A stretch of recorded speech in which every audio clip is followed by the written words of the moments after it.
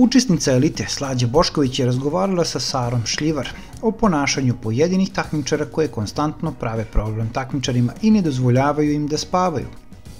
Ovom prilikom su spomenule i cimerku Mariju Malivuk. Svako pokaže svoje pravo lice.